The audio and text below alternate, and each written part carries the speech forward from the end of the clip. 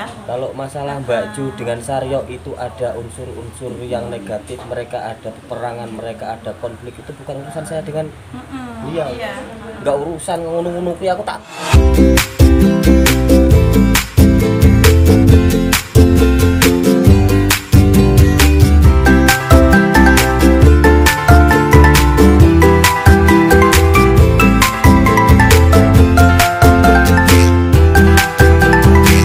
Bismillahirrahmanirrahim Assalamualaikum warahmatullahi wabarakatuh Waalaikumsalam guys warahmatullahi wabarakatuh. Halo pemirsa di mana pun anda berada Semoga diberi kesehatan Keselamatan juga rezeki lancar ya Amin Amin, ya Rabbal alamin. alamin.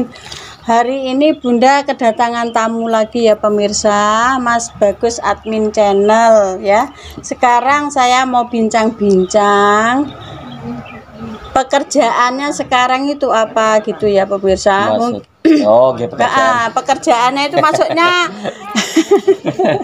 pekerjaan kan saya lihat ini di kontennya kan ada yang di kebun kan gitu toh, Mas. Ah, selain itu apa aja gitu. Kalau masalah pekerjaan saya guys ya atau, atau bunda intinya saya itu sebagai seorang petani selebihnya Oh, oh, saya itu ya bisnis kecil-kecilan. Heeh. dan petaninya itu kan seperti kunyit maupun singkong. Dan kalau bisnis itu jual beli kecil-kecilan lah intinya kalau ada kendaraan yang lebih murah saya beli. Oh Dan gitu. Kalau nanti intinya, terus ah, jual beli gitu ya Mas ya. kalau ada untung ya saya ambil. Kalau nggak ada untung ya enggak Oh gitu. dan istilahnya di petani ya petaninya hanya di kunyit ataupun di telo singkong lah bun bahasanya bun Heeh, singkong, telo. heeh. hanya Nah, terus kemarin tuh saya ada lihat lagi ada itu mangga itu Nah, kan kalau- punya sendiri juga Nggih, ya Mas ya. nggih, kalau mangga itu memang benar memang punya sendiri pun. Cuman intinya itu penjualannya saya nggak di lokalan aja langsung saya kirim di Palembang pun. Oh, dikirim ke sana, tapi apa ya malah menguntungkan gitu tuh Mas? Apa nggak rugi? Cuman kalau di da- lokalan di arah di Bawa- daerah Jawa Timur itu kan gila kalau masalah eh, pertanyaan dari mana tadi bun? Tadi masalah mangga itu loh. Oh masalah mangga, masalah mangga itu biasanya saya kirim kalau ke lokalan itu kan lebih murah pun. Oh gitu. Harganya kemungkinan hanya 2000 sampai 4000 Kak. Tapi kalau di Palembang langsung kita keluar kota Mm-mm. itu kan lebih mahal bu gitu loh. Oh, Jadi gitu. dapat untung sedikit demi sedikit tapi nggih Masih masih ada untungnya lah gitu loh, masih untung ada gitu ya. untungnya daripada kita menjual di lokalan. Nah, kalau mangga masalah mangga. Heeh, masalah mangga. Hmm, masalah mangga. Terus kalau yang di Lampung itu apa, Mas? Kalau di Lampung, alhamdulillah saya hanya sebagai pekerja petani atau pekebun pun ya. Intinya di sana juga.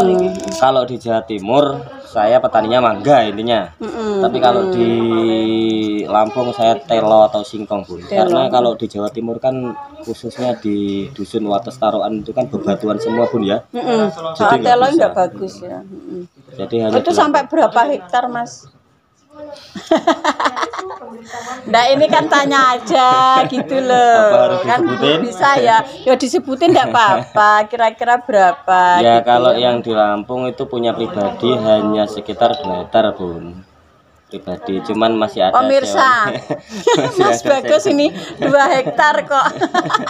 Masih katanya sedikit Mas.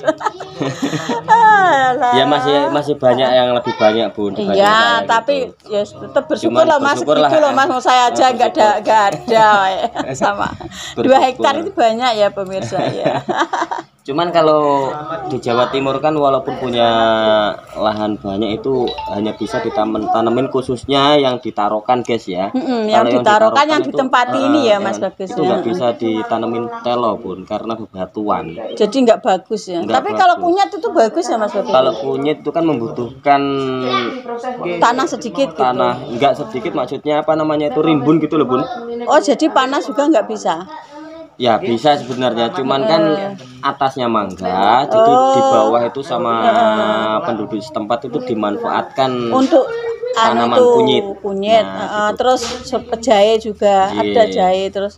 Pokoknya empon-empon lah ya mas. pokoknya empon-empon istilahnya Untuk masak dapur ya Iya. pemirsa. Jadi kalau kunyit itu dikirim langsung ke Korea pun Jadi Oh, ada oh. pengesupnya Oh, di di sana Korea, un- mungkin untuk obat-obatan Nggih, itu sama ya. Dan adanya COVID-19 ini kunyit semakin melambung harganya. Harganya lebih mahal. Nggih, soalnya Gitu ya. buat jamu-jamuan. Heeh. malah tradisional ya Mas. Tradisional. malah bagus. Jadi nggak ada obat bahan kimianya gitu. Kalau obat bahan kimia itu eh, ya nggak ada sih. Iya, ya nggak ada. eh, Itu kan kalau kunyit, tradisional, iya, tradisional, obat-obat tradisional. Jadi kan itu kan kunyit-kunyit yang sudah digosok atau kunyit kering pun gitu loh. Maksudnya yang dijual. Kalau kunyit-kunyit yang basah itu biasanya penjualnya di pasar buat sayuran aja. Heeh, heeh, heeh, memang kalau dikeringkan kan untuk jamu. Heeh, diproses lagi gitu ya. Nggih. Ya. Terus yang di sini selain itu lagi apa mas? Ya selain mangga apa luwak ya baru luwak pun ya. Oh, direm. Mm-mm. ya kalau yang di sini apa namanya itu ya cuman petani aja bun petani sama pe- eh, maksudnya pekebun aja nanti kalau ada kendaraan yang lebih murah ya ibaratnya saya ada untung nanti saya ambil kalau nggak ada untung ya enggak intinya berjalan sendiri aja lah bun gitu loh maksudnya. Terus kalau pas mau ini kan sekarang ditanami lagi ya yang di Lampung ya. Oke, yang di Lampung Heeh, sudah singkong. Nah, terus di sana itu siapa mas? yang yang, Yang ngurus ngurusi udah, gitu. udah ada sendiri Sudah ada. Sudah terus ada berapa sendiri. bulan lagi sekali?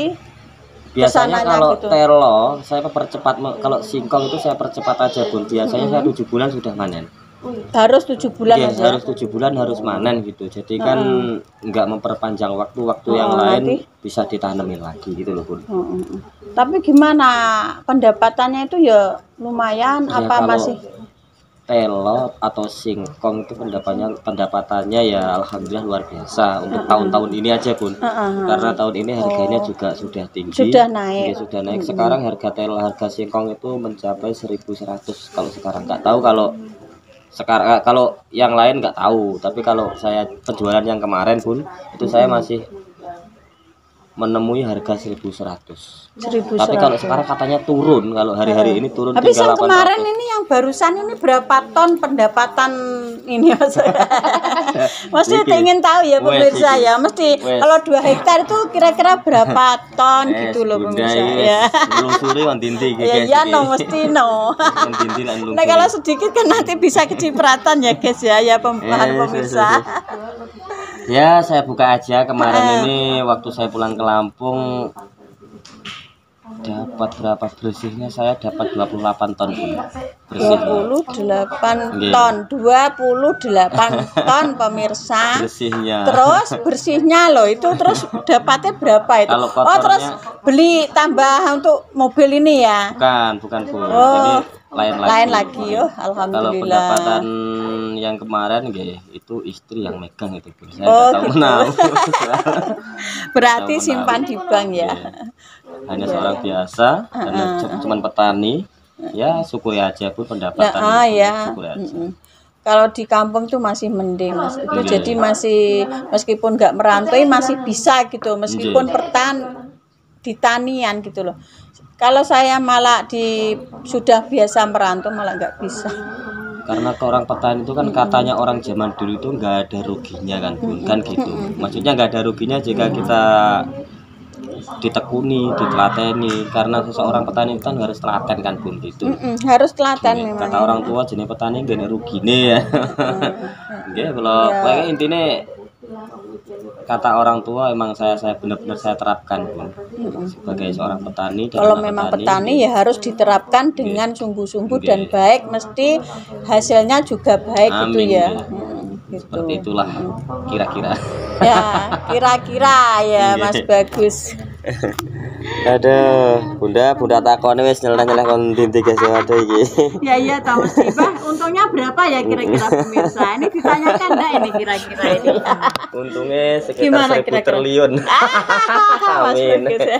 Ya wis diaminin aja ya pemirsa ya. Maksudnya keuntungan yang di mana, Bun? Yo maksudnya gitu kalau kalau pendapatan 28 ton itu berapa kira-kira untuk, Untuk, biaya, nah, biaya cocok eh, tanamnya. eh, tanamnya terus Oke. untuk karyawannya yang cabut bersihnya gitu loh maksudnya. Nggih, bersihnya bersihnya Oh gitu yang bersihnya sudah petani Heeh. segitu, Bun.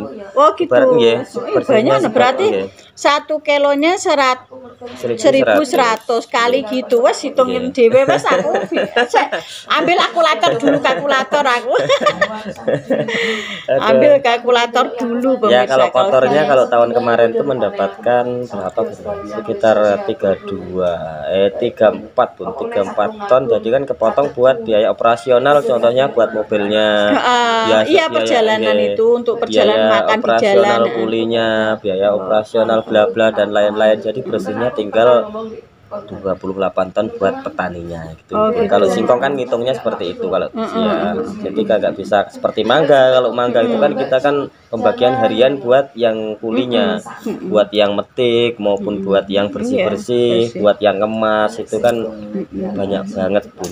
Keluarin biaya banyak banget lah intinya. Beda beda dengan singkong. Kalau singkong cukup kuli dengan mobil udah tinggal kitanya aja yang pengertian dengan kuli maupun dengan mobilnya ngasih rokok apa ngasih es kan biasanya begitu kan ya, maksudnya mohon maaf biasanya ngasih rokok dan es kan begitu Bu. jadi tinggal pengertiannya kita aja nggih, nggih, nggih. Bon. Terus tak dulu aku nih dia apa? Terima awak. Demikian tadi Bunda bincang-bincang sama Mas Bagus admin channel ya yang belum nonton video-videonya bisa dilihat ya Mas ah, Bagus admin channel ya pemirsa. Oke, mohon maaf saya tambahin lagi Ah, ah, ini Mas Bagus mau nambahin. jadi kalau bunda saya tahu persis ya kalau bunda mau pansos buat apa Iya, tanahnya juga lebar nih Iya. Hmm, rupanya Alhamdulillah rezeki dari pansos buat apa, Allah gitu ya. Jadi kalau YouTube intinya mohon maaf ya guys ya. Kalau YouTube itu kan satu memang benar-benar buat cari rezeki. Ya. Ya, Jadi satu. buat cari rezeki, kedua buat cari seduluran. Ya, betul. Ketiga nggak ada niat untuk pengkhianatan, ya. Kalau merasa sampean yang merasa untuk yang lain merasa dihianati, jadi ayolah kita sering-sering bareng. Mm-mm. Gimana letak Bukan saya juga penjilat, saya tambah lagi bukan penjilat saya, bukan terus lari sana lari sini itu masuk saya ya bukan untuk ini ya pemirsa. Apa ya Mas? Untuk pengkhianat saya nggak me- mengkhianat gitu loh. Ya kalau saya itu kan di komennya Bunda Irina juga ada. Mereka mereka adalah orang pengkhianat itu siapa pun namanya anu? Puspita Sari nggak salah Puspita ya. Sari ya buat Mbak, Puspita Sari buat Mbak. Puspita Sari ini saya jelaskan nggak ada niat untuk berpengkhianat dan untuk Siapa pun munafik gitu. dengan siapa pun. Tapi kalau yang merasa dihianati dan merasa dimunafiki baratnya, Iya, iya. monggo kita sering-sering ngopi bareng di rumah saya. Jadi kesalahan saya dengan Bunda Irina itu apa? Ah, jadi, jangan ikut sangkut pautkan gitu loh Mas ya. Kalau masalah Mbak Ju dengan Saryo itu ada unsur-unsur yang negatif, mereka ada peperangan, mereka ada konflik itu bukan urusan saya dengan Mm-mm, Iya. Iya. nggak urusan ngunung penting kita kan cari saudara ya mas yang penting kan kayak gitu aku cari saudara. Dan saya pun saya nggak ikut campur urusannya. Gitu. Si S ataupun nggak ikut campur urusannya. pokok si kita tetap baik ya sama orang baik gitu gitu. meskipun di kawan saya yang satu nggak baik ya itu saya nggak tahu gitu kan. Yang urusan penting urusan urusan sendiri nggak ikut urusan gitu jadi youtuber maksudnya. itu pakai ini guys ya. Jangan pakai ini. Eh, eh, logika Ka- katanya saya uh, suruh konfreksi diri lo gimana kayak suruh ke introspeksi Eh, eh, introspeksi diri gitu maksudnya. Anda yang butuh introspeksi Lah ya, lo saya kok suruh gitu loh mas, kan lucu toh. intinya begini bun ya. Heeh, gimana? jadi youtuber dikit-dikit klarifikasi ya Nggih. dikit-dikit klarifikasi itu buat apa sekarang itu youtuber itu kan kita kan nggak usah munafik ya kita emang benar-benar satu cari Iya, saya juga saudara ada yang mau bilang katanya saya munafik. Eh banyak sekali. ya Allah, astagfirullahaladzim. kita cari saudara dan kedua kita emang benar-benar cari rezeki ya bun Nggih, nggih, betul. rezeki jadi kalau YouTube itu ibaratnya YouTube seperti ini ada rezekinya ya alhamdulillah Ya, alhamdulillah gitu loh. Betul loh. Sedangkan kalau ini memang belum ada rezeki kan lainnya ada gitu loh ya mas. ada Heeh, gitu masa loh, cari pemirsa. duit nggak nggak hanya di YouTube aja loh guys cari duit di kebun juga ada bisa. jadi kuli juga ada ke pasar dagang juga ada saya nggak nggak nggak pening gitu loh nggak pusing-pusing cari duit Nah, gitu iya. Karena YouTube itu loh, tersebut astagfirullahaladzim. hanya buat gitu loh. satu Gini loh Mas, kan hari Oke. ini kan masih puasa di bulan suci gitu loh.